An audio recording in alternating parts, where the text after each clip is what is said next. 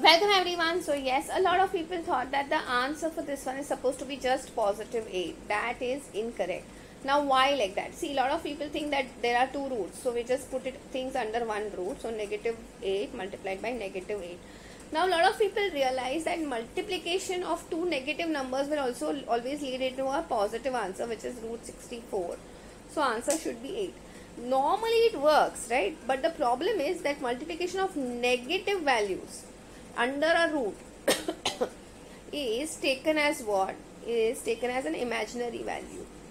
So root of negative 1 is taken as i so basically root of negative 8 can be written as 8 multiplied by root of minus 1 sorry uh, multiplied by just minus 1 into and similarly here also this can be taken as 8 multiplied by minus 1 okay? So now here see understand. This minus 1 under a root can be taken as what? 8 i. Root of 8 into i. Here also this will be root of 8 into i. So now what we can do is see now there are two positive values.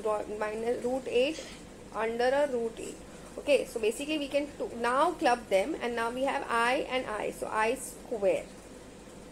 So now root of 8 into 8 is basically when you take it outside the root it's just i uh, sorry it's just 8 and i square value is just minus 1 so this gets multiplied by minus 1 so answer for this one is minus 8 i hope this is very very clear to everyone. That's it for today. I will see you in the next video